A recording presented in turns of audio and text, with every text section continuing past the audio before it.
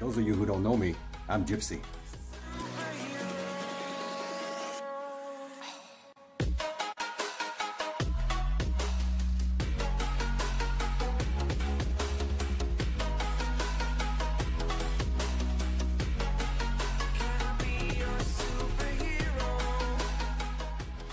Hey, what's up guys? Welcome to GypC Shop Builds. Today I'm really excited to show you guys how to build this custom floating desk with shelves that looks like this.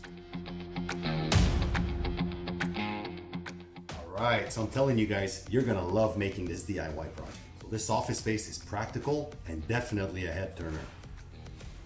Your family, clients, entourage are gonna love this office space you're about to create. In this episode, I'm gonna give you quick time lapses, short clips, tips and tricks to get it done fast and right. Hey guys, so before we get into this build, just to let you know, I put a link down below in the description of all the tools that I used in this video.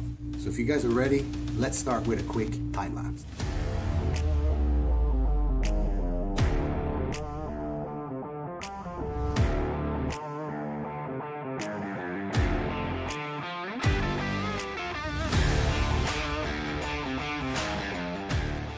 So there, you just saw me rip that sheet for the length of the shelves at 65 and a half inch.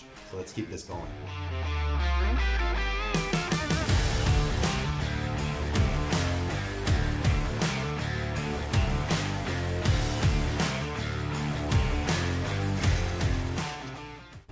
So there, you just saw me rip three pieces at 14 and 3 quarters, leaving the front part of the shelf at 3 inches 3 quarters. So let's keep it going.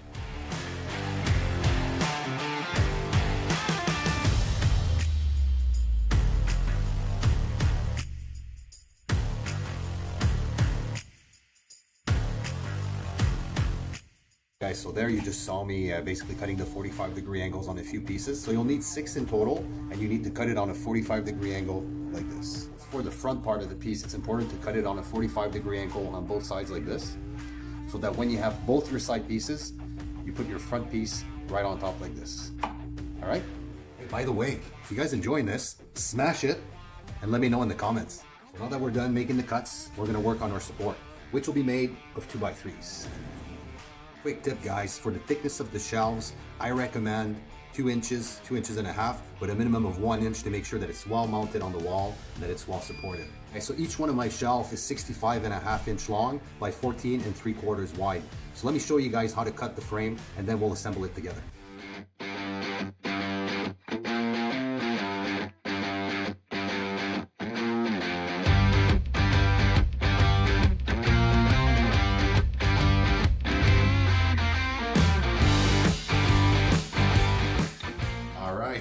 Finished cutting everything. So now I'm gonna show you guys how to assemble everything so that it's nice and strong.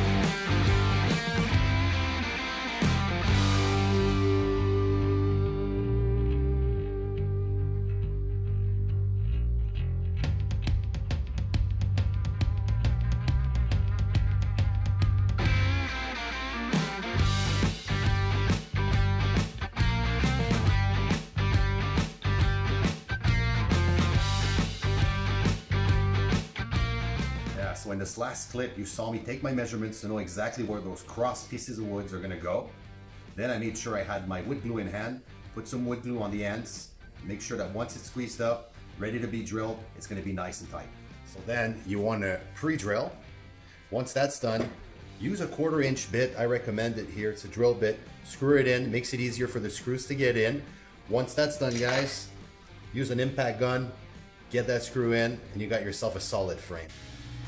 All right, guys, so we're done assembling this 2x3 framing. Look at this. This is solid. So I'm going to show you guys how to put this on the wall. So now that we're at the wall, first step is to get your stud finder, put it on the wall. So you take your stud finder, put it on the wall like this, press on one of the buttons until it's calibrating. When you hear that, you can move. Oh, look at that, we just located one stud right on center. Now that you located one of the studs, you want to mark all the other studs, usually every 16 inches or so.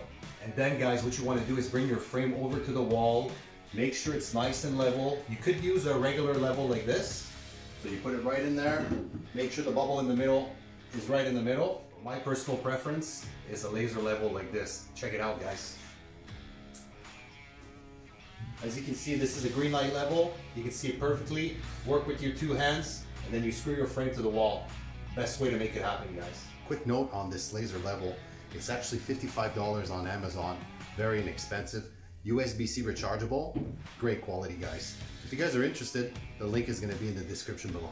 So now that we're done with this framing on the wall, it's time to assemble these shelves, guys. Let's get it going. Let's get ready to assemble all this. So let's go over here.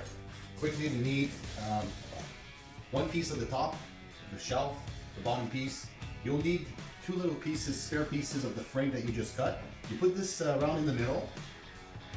so since this is basically a shelf that doesn't have any sides, physical sides, because it's going to be inserted into the wall where there's going to be two walls at the end, you want to make sure that you temporarily put two nails there so that it holds the shelf together.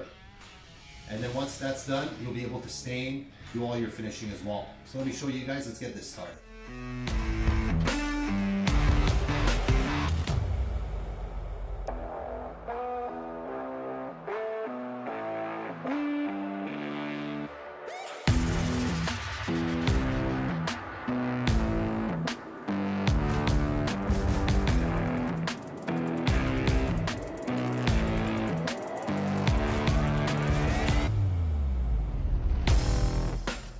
Just finished nailing everything in using my M18 Milwaukee brad nailer. This tool is awesome, guys. Check out the description below, get more details on that. All right, so with that said, let's move on to the next step.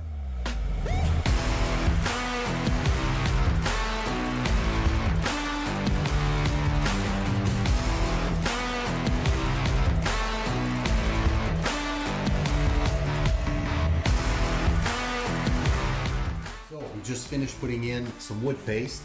So now let's move on to sanding. So for sanding guys, make sure you have a good mask and goggles. Safety guys, very important. For sanding guys, I'm gonna be using 150. So here we go.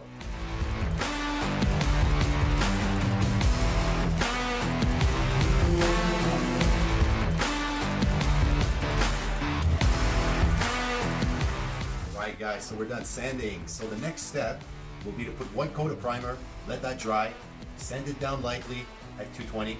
Then you put one coat of paint, you let that dry too, and then you finish it off with a matte finish. It's gonna look awesome. So stick around, let's go.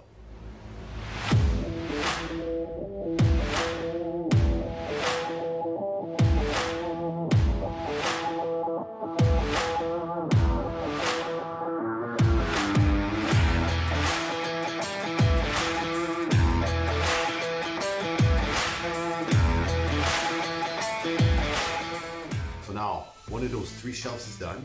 It's time for me to show you how to make that floating desk, guys. Let's do it. Want to grab your circular saw, get a new 4x8 sheet, cut it at 65 and a half inch. Then you grab that sheet remaining at 65 and a half inch, and you cut two pieces at 21 inches, and that remaining piece, you'll want to cut at four inches, guys.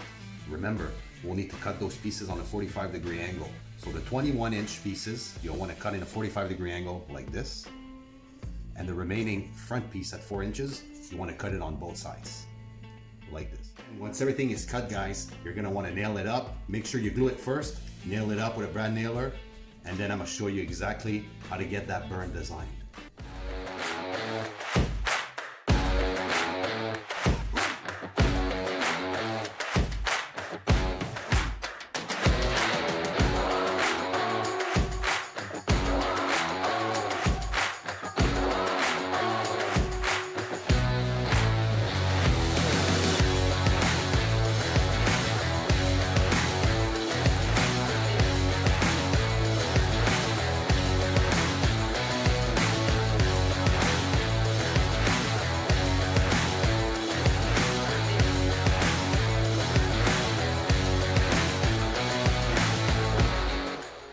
Just finished torching the soft portion of the wood, guys.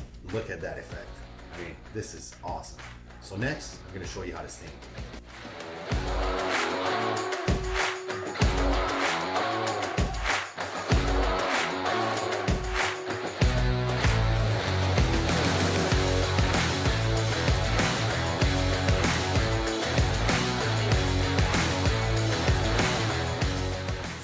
Paint are finished, guys. By the way, what I used for the stain is 75% whitewash, 25% water, and also 50% aged oak and 50% whitewash. And look at those results.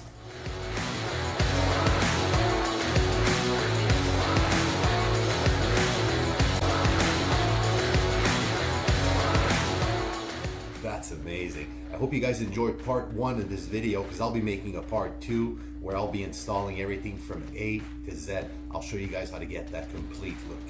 So until then, if you guys enjoyed this DIY project, let me know in the comments.